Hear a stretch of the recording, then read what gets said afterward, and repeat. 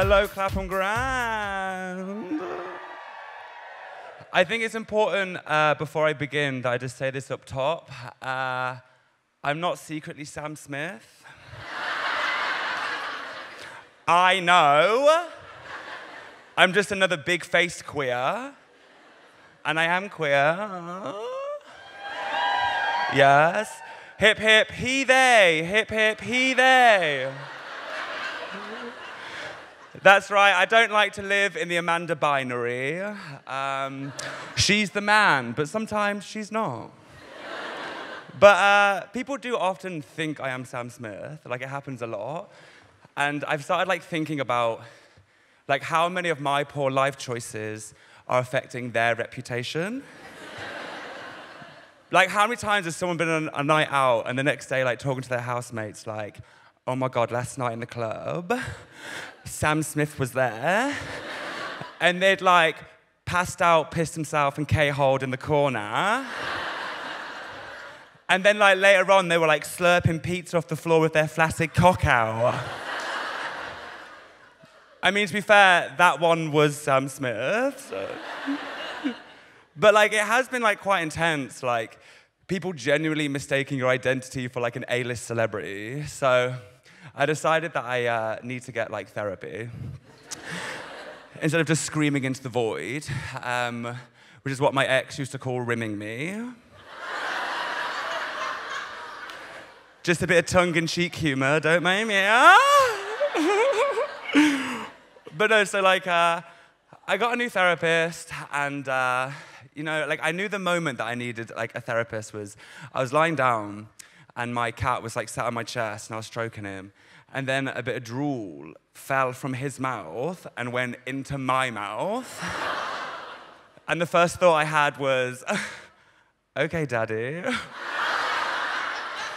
and it's like, I need to get therapy. but also like, I need to get laid. But like, it's good. Like, we talk about all the important things like queerness and like trauma and like what happened to all those people that got mustaches tattooed to their fingers. Like, where are they now? Does anyone in this room have that tattoo? Because there were so many of you and now you're gone. You're all gone. But like, it's good to talk to someone as well. Um, uh, I'm a triple threat. Uh, anxiety, depression, IBS.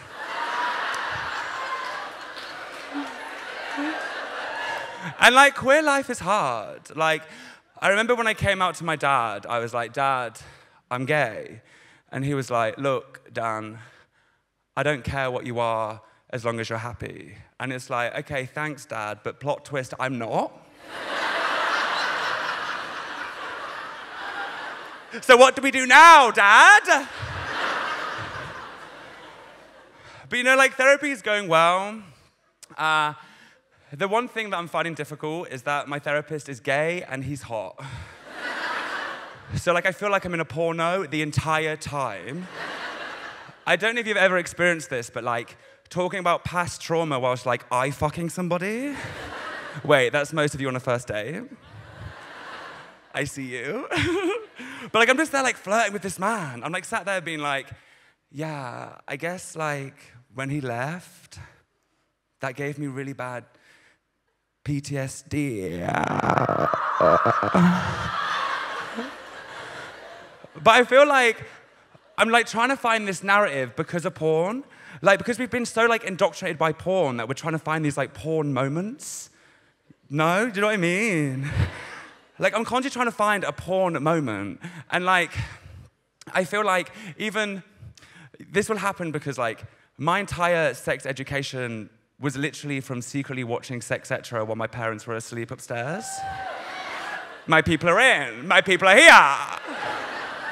but like, it just like filters into everything, you know? Like, in my mind, I'm like, yeah, I'd love to have like 10 guys with like 12 inch cocks come around and fuck me. But in reality, no, I don't.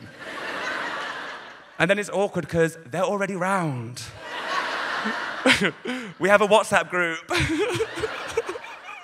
or like you know when you like you think you're like a fetish and you're like you're in bed with someone and you're like choke me choke me and then he does it and you're like oh excuse me sir that's actually very uncomfortable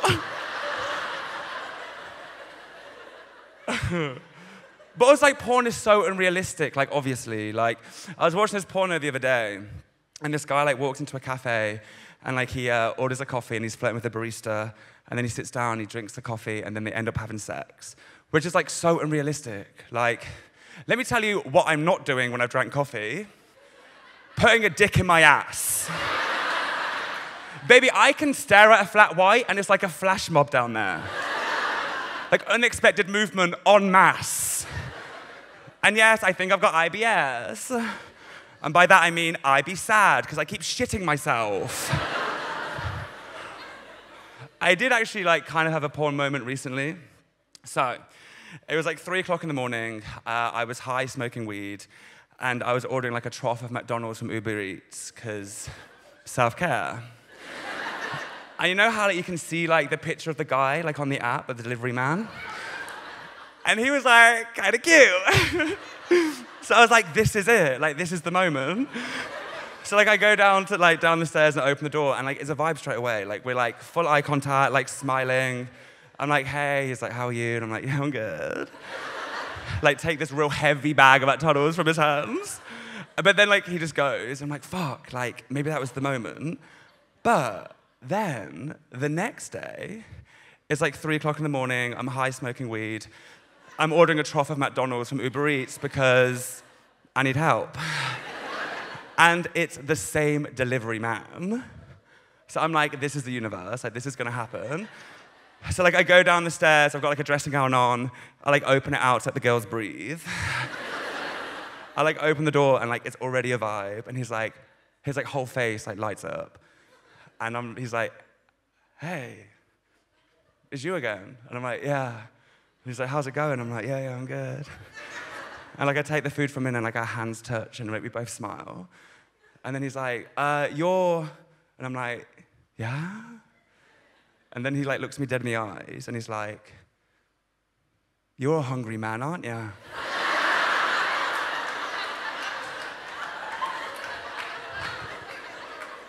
and that was my porn moment.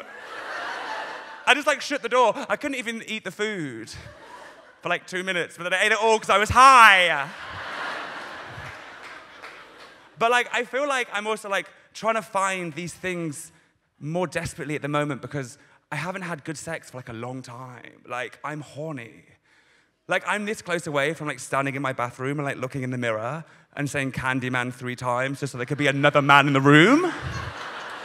like, I don't care if you're gonna kill me, just fuck me first. But like knowing the universe and how it treats me, it would be the other way around.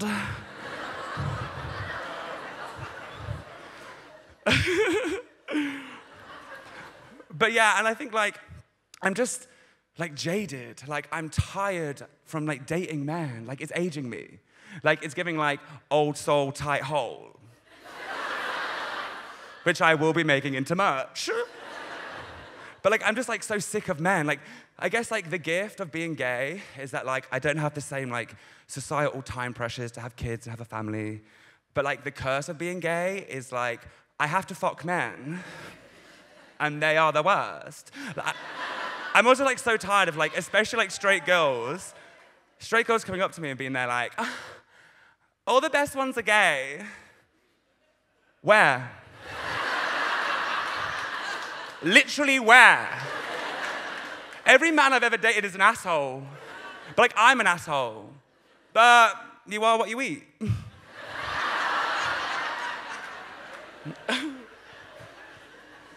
but I, um, I also kind of like, there's a reason that I've not been having so much sex at the moment as well, because uh, this cat that I live with, I live with this cat, his name is Brian, he's huge. He's like a Maine Coon, like he's massive. I'm not even sure he's a cat. He could just be like a man dressed as a cat for father's rights.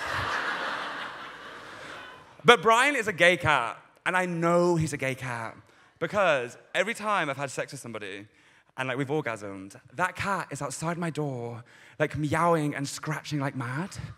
Like he's like out there being like, "Come, is there cum in there?" and like that is his voice. Like I feel like you know in Oliver Twist where they sing that song and it's like. Um, who will buy this wonderful morning? Okay, well. No, but in that song, there's like a guy in that song, and he's like a big guy, and he's like, knives, knives to grind. that is Brian's voice. so, like, I've just had mediocre sex with this man, and I've got this dad sized cat outside my door, literally singing, Come, human, come. what am I supposed to do with that? Like, here I am living with Fagpuss. But like, I want to have more sex. Like, I do. Like, I want my life to be like a rom com, but like no rom and loads of cum. and like, I want to like be more liberated. You know, like. I feel like I had a Catholic upbringing, and like I feel like there's still like a residue of shame, and like I just find it so mad that like because I went to church as a kid, like I can still feel shame about things. Because like, what is church? Like, really, what is church? Like, church is like a book club where no one's read the book except one person who stands at the front showing off. that is it. Baby, no one's read the Bible. but also, like, I want to start getting like a higher level of man. Like, not higher level, not like better, but like richer. You know? Like, I'm so tired of just dating guys that just like smoke weed and don't tell me how they feel. Yeah. Like, I want to be associated with people in high places, not just high people in places. so, like, I'm going to leave you with this story. So, I've been like a little bit more like minded on trying to find an adventure. Like, say yes, be open to it. So, the other night I was on the bus, like a night bus. I was going home, and it was like the lower deck, uh, the two seats facing two seats. And I'm just like sat there. I've got like a true crimes podcast in. Okay, it's a Netflix original. I was giving Netflix original series. I'm just sat there, true crimes in, and there's like a cute guy opposite me. And like we keep like catching each other's eyes, and then like it gets a bit more intense, and we're like really looking at each other. And then we're like doing more like gesturing, like I'm like stroking my leg, and he's like touching his crotch. but like the, the, entire time, I've got this like true crimes podcast in my ear, and it's like, and then she found a knife in her house. Which actually kind of made it a bit more hard, to be honest. And then things get like a bit more intense. Like he comes and sits next to me, and like I'm kind of touching him, he's touching me, but like kind of secretly because we're on like a night bus full of drunk blokes.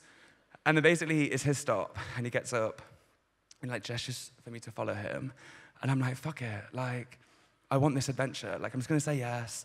So I get off the bus. Uh, we haven't spoken at all. And like, uh, still got the like podcast in my ear, and it's like, uh, little did she know he was a serial killer.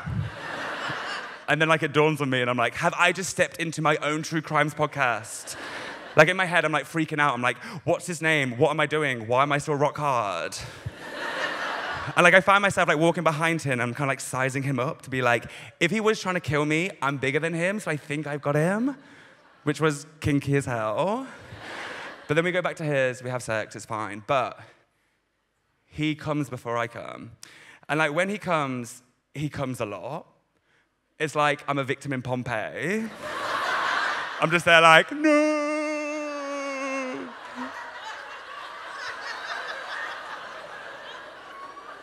But then the worst part is like after he's come, he just rolls over and falls asleep. And I'm like, no. Like this is like the literal acti- like anticlimax of this adventure. I'm just like lying in bed. I'm like thinking about that famous quote from the prophet Norah Jones. Um, she says, I don't know why I didn't come. I don't know why I didn't come. But I'm just like lying there while this man's snoring next to me. And I'm like, I have not spent like 18 years in the closet and then spent like 10 years trying to be the best queer person I could be to then just become a straight woman.